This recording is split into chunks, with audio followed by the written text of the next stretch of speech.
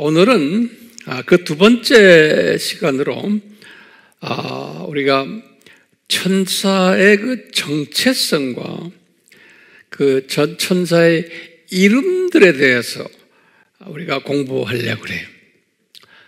그래서 거기에 관한 인포메이션들을 제가 칠판에다가 다 이렇게 적어놨어요. 그래서 우리가 이제 칠판을 보면서 이제 하나하나 아, 우리가 공부할 거예요. 우리 지난 시간에 공부한 것은 우리 다 아니까 다시 제가 리뷰를 하지를 않지만 우리 오늘 먼저 알아야 될 것 있어요. 천사가 어떤 정체성을 가지고 있느냐. 그러면 우리 항상 우리가 이야기하지만 천사는 영물이에요. spiritual being의 영물이에요. 그렇기 때문에 어떤 영물로 되어 있냐면은 그 섬기는 영물들이에요. 그래서 영어로는 serving spirit 그래요. serving spirit. 히브리서 1장 14절에 serving spirit이 그렇기 때문에 항상 우리가 질문을 하는 거예요. 무엇, 누구를 섬기는가? 이렇게 우리가 질문을 꼭 던져야 돼요. 그러면 이분들은 삼위 하나님을 섬기는 분들이에요. 첫째로. 이거 우리 잊지 말으세요. 우리만 섬기는 게 아니에요. 우리보다도 더 중요한 분이 삼위 하나님을 섬기는 분들이. 거기에다 이제 하나님의 자녀들까지도 함께 섬기는 분들이에요. 그렇기 때문에 이분들의 최고 지도자는 누구냐면 삼위 하나님이에요.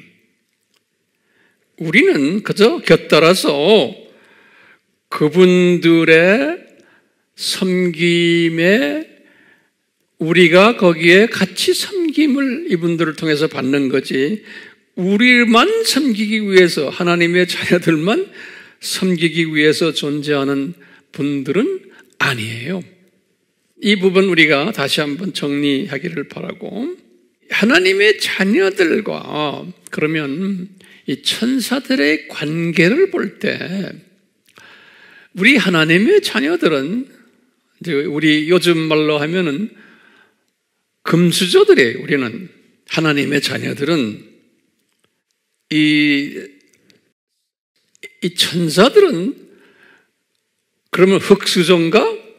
흑수저도 아니에요. 하나님의 자녀들이 아니기 때문에 그래요. 이분들은 하나님의 자녀들이 아니에요. 하나님의 자녀들보다 훨씬 낮은 존재들이 그 머슴들이라고 보시면 돼요. 또는 도우미들. 이분들은 하나님의 나라를 상속받는 자들이 아니에요.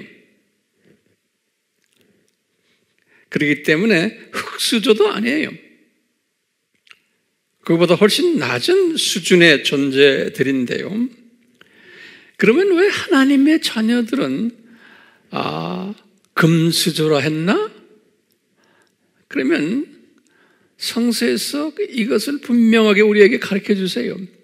하나님의 자녀들은 첫째, 하나님의 형상과 모습으로 지음 받은 존재들이 창세기 1장 26절에서 27절에 그런데 천사들은 이렇게 지음 받았다고 성서의 기록에 안 돼 있어요. 하나님의 자녀들만 특별히 이렇게 삼위 하나님의 형상과 모습으로 지음 받았고 뿐만 아니라 하나님의 자녀들은 하나님의 창조 목적에 파트너 역할을 하도록 지음 받은 거예요. 창세기 1장 28절에 보면 그뿐 아니라 하나님의 자녀들은 하나님 나라를 상속받는 자들로 지음을 받은 거예요. 그렇기 때문에 천사들과 엄청 달라요. 고린도 전서 6장 10절에 보면 하나님의 자녀들은 특별히 높은 계급에 있는 하나님의 자녀들은 하나님 나라를 상속 받는다라고 이렇게 되어 있어요. 그렇기 때문에 우리는 이 높은 하나님의 금수저들이 말이죠. 이 흙수저도 되지 않는 이 천사들을 경배한다는 사실이 말이 돼요? 안 되는 거예요. 예. 우리가 천사에 대해서 잘 모르기 때문에 이런 우울을 범하게 되는 거예요. 우리 지난 시간에도 우리 보았지만 골로새 교회 교인들 중에 이런 분들이 있었고 심지어 요한도 천사에 대해서 잘 교육을 받지 않았기 때문에 이 천사에게 이런 경배를 하려고 시도했던 우리가 모습을 지난 시간에 우리가 공부했어요.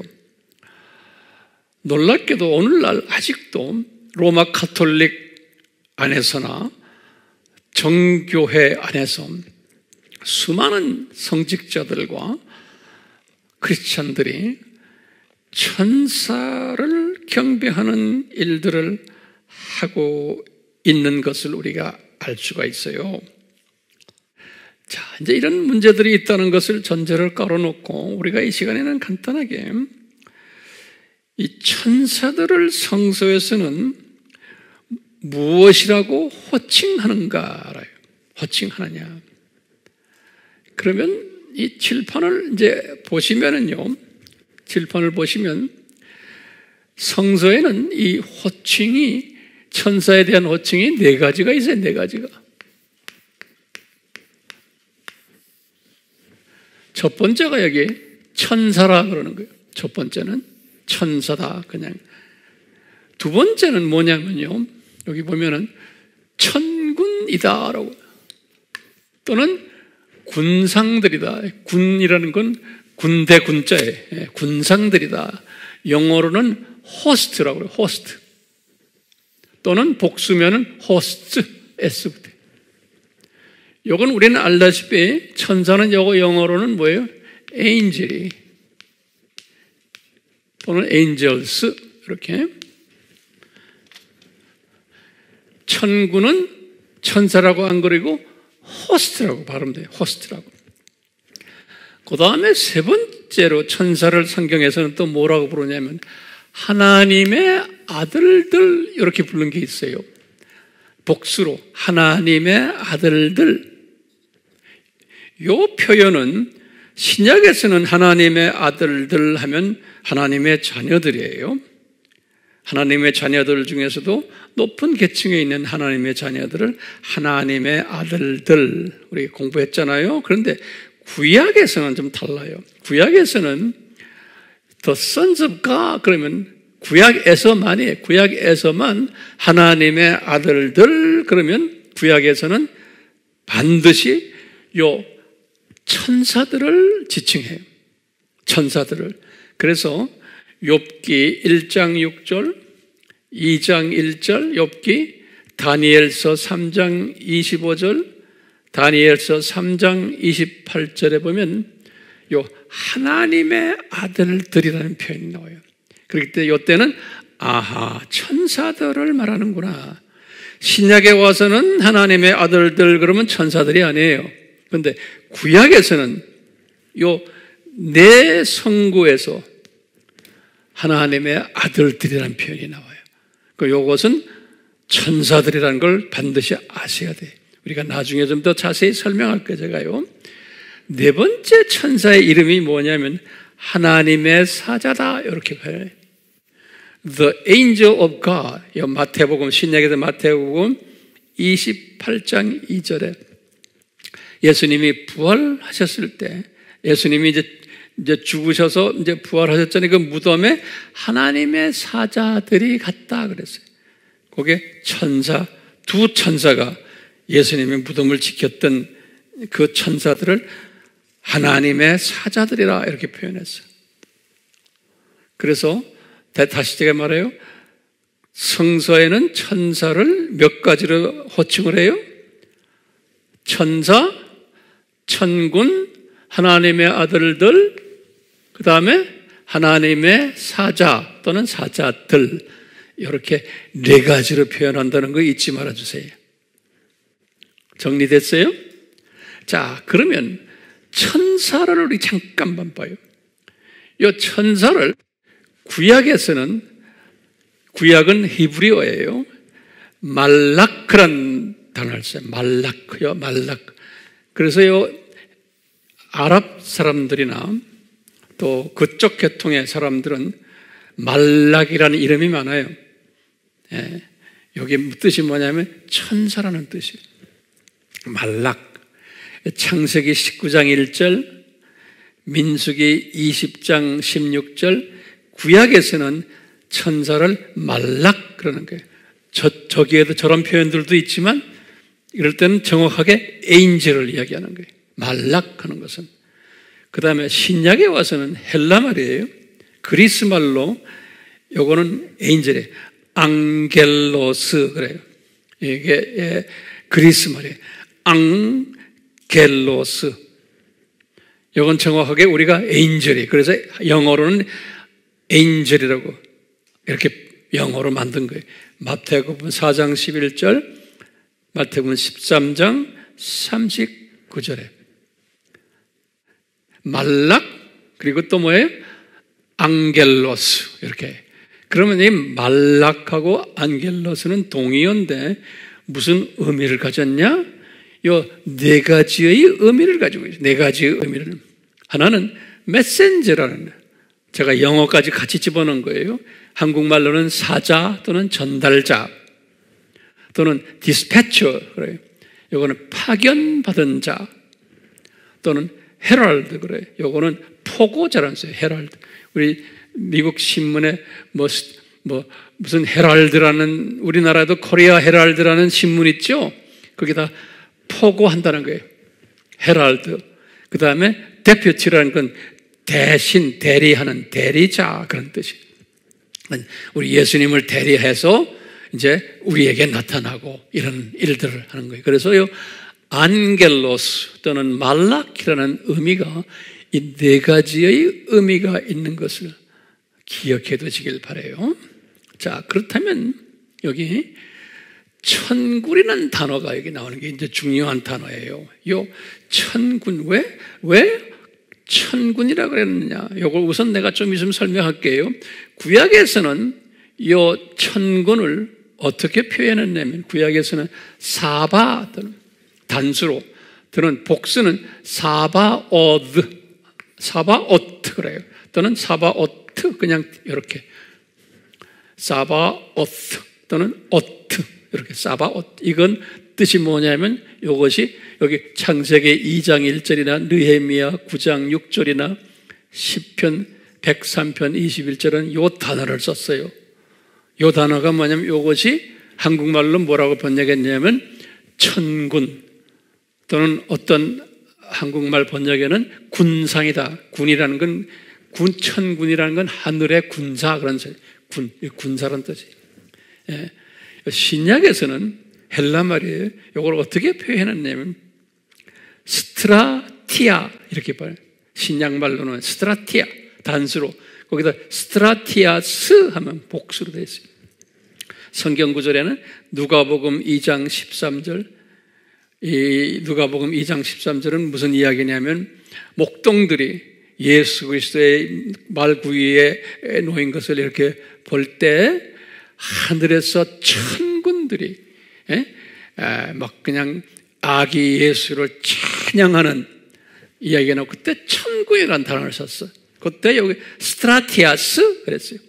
여기 누가복음 2장 13절에 그 다음에 사도행전 7장 42절에도 요 στρατιᾶς 요 뜻은 뭐냐면 저요 ἄγγελος와 뜻이 달라요. 요건 뭐냐면 군인의 의미가 군인 soldiers 또는 military 군인 또는 군사 음해. 그러니까 그래서 한국말로 번역도 천군들 이렇게 또는 군상들. 영어로는 host라고 번역했어요. 영어로는 호스트. 예. 그럼 이 호스트란 단어는 뭐냐? 이것은 군인 부대들을 말해요. 군인들, 군인들. 그렇기 때문에 이 천사들이 메시지를 전하는 또는 파견된 이런 의미도 있지만 군인 부대들이다라는 의미도 있다는 의미에서 여기에 호스트라고 번역했고 천군이라고 한 거예요. 그 다음에 이제 세 번째는 하나님의 아들들. 이건 나중에 제가 또 설명하겠지만 우선 그렇게 알아. 그러니까 굉장히 구약에서는 특별히 하나님의 아들들이라는 표현을 했어요. 이 표현을 하면 그 소중한 존재들이라는 거예요. 그런데 신약에 와서의 하나님의 아들들과 다른 의미의 하나님의 아들들이. 신약에서는 예수 그리스도를 통해서 우리가 하나님의 아들들이 됐기 때문에 신약에서는 그렇게 쓰지만 구약에서는 하나님의 아들들 하면은 천사들을 지칭하는 거예요. 자세한 건 우리가 다음에 이제 시간 가면 또 설명할 거예요. 그 다음에 이제 하나님의 사자, 이건 우리가 다 상식적으로 알잖아요. The angel of God. 이게 다 천사들을 이야기하는 거예요. 자, 그런데 중요한 문제들이 우리가 있어요. 이것은 우리, 우리 한국 분들이 잘 아셔야 돼요. 무슨 문제들이 있냐면, 창세기 2장 1절을 아, 해석하는데 어떤 성경을 우리가 읽나에 따라서 다르게 해석이 되어 있어요. 특히 우리 한국 성경이 지금 문제예요.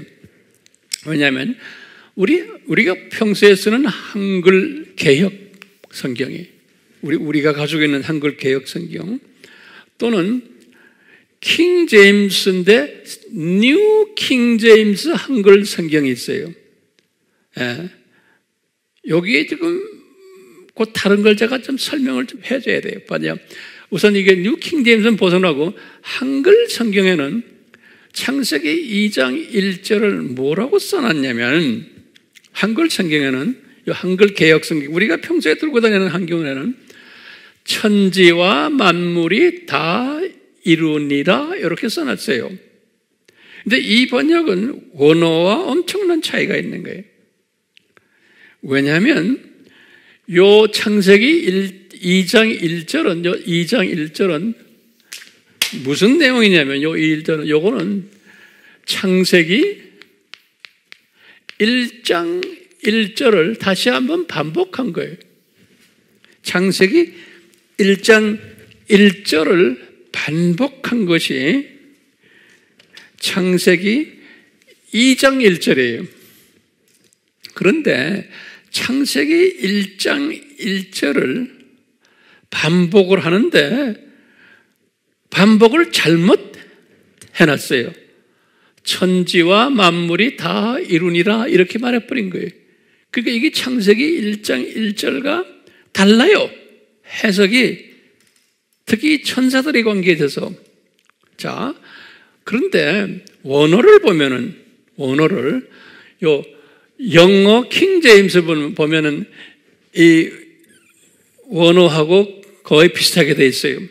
영어 킹 제임스에. 뭐라 썼냐면 thus 그래서 the heavens 복수의 그 1층천 2층천.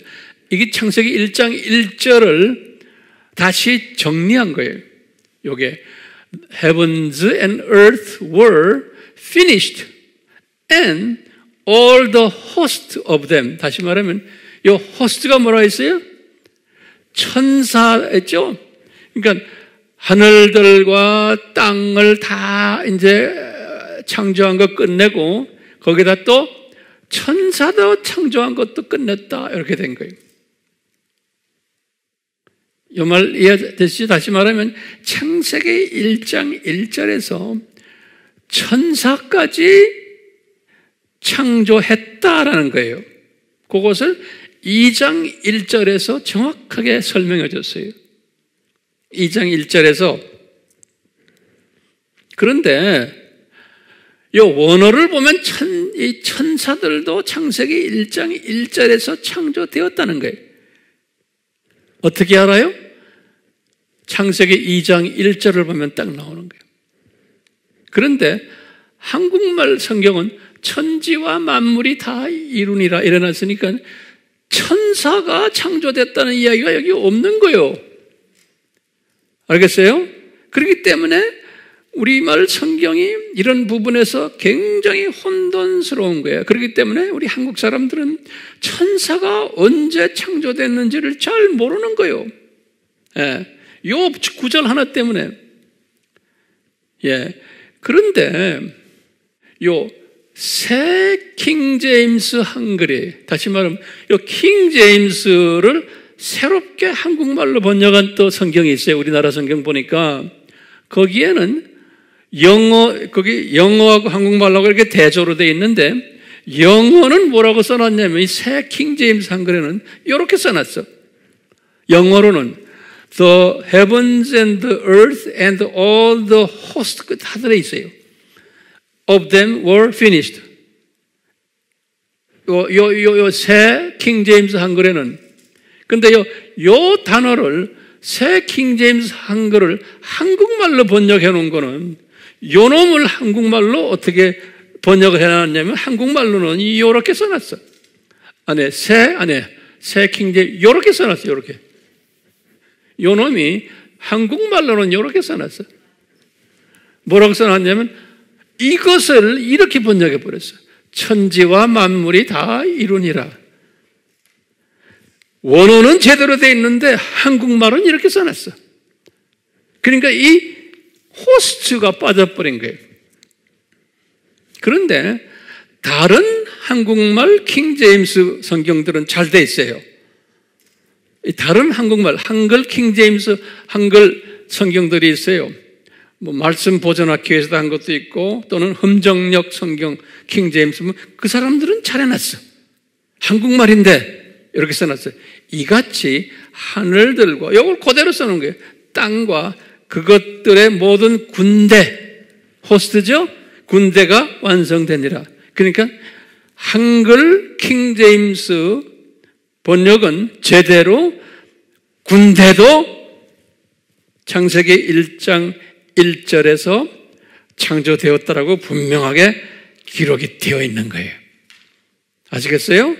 그렇기 때문에 우리가 우리가 이제 이것을 깨닫고는 이제 주변 사람들에게 가르칠 때 요거 이렇게 비교를 해 주셔야 돼요. 비교를. 그래서 우리나라 성경이 어떤 부분에서 좀 문제가 있을 수 있다라는 것도 우리가 기억하시길 바래요. 자, 제가 이제 결론적으로 한마디 드리면은 지금 요 천사가 그러면 이름이 이런데 천사가 언제 지어졌느냐? 라고 할 때 요거 잘 정리 한번 하고 그 다음에 제가 이제 말씀을 끝내려고 그래요. 창세기 1장 1절에서 창세기 1장 1절이나 또는 2장 1절에서 이제 내용을 보면 창조를 어떻게 했냐면 첫 번째는 하늘들의 1층천, 2층천을 창조하고 그 다음에 두 번째는 뭘 창조했어요? 땅, 지구를 창조하고 그리고는 세 번째는 지구만 창조한 것, 지구 밑에 있는 지옥까지도 다 창조하시고 우리가 예전에 다 공부했어요. 그다음 세 번째는 뭐냐면 이제는 천사들도 창조하신 거예요. 요 창세기 1장 1절과 2장 1절에 보면은 이렇게 창조하신 1층 천, 2층 천, 헤븐즈, 그 다음에 earth, 지구, 그리고는 지옥까지 창조하시고, 그 다음에 호스트, 천사들까지도 창조했다. 그런 거예요.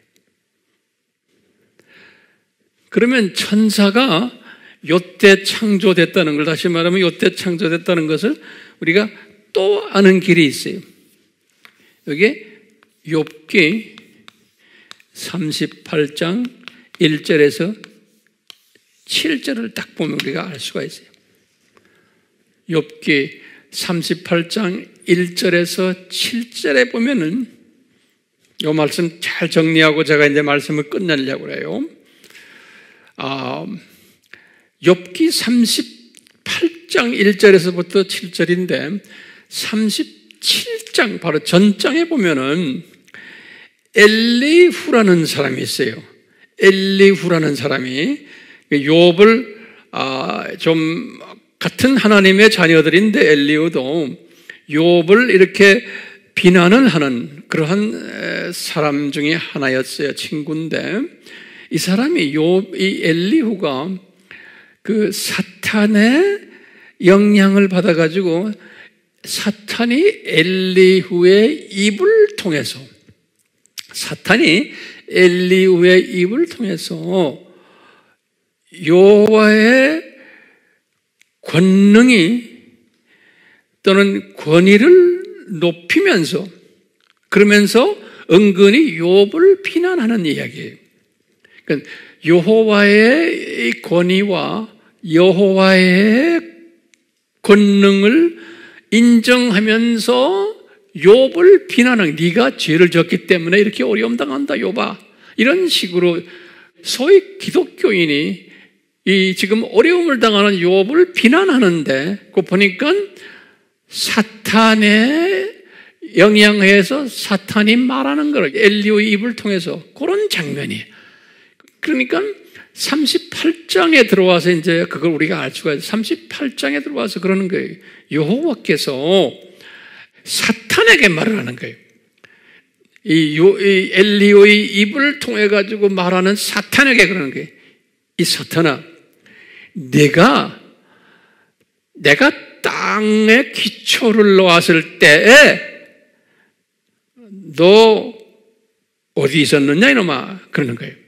예? 그때 너 있었잖아. 다시 말해 땅에 기초를 놓았다는 게 언제 창세기 1장 1절이에요. 그렇죠?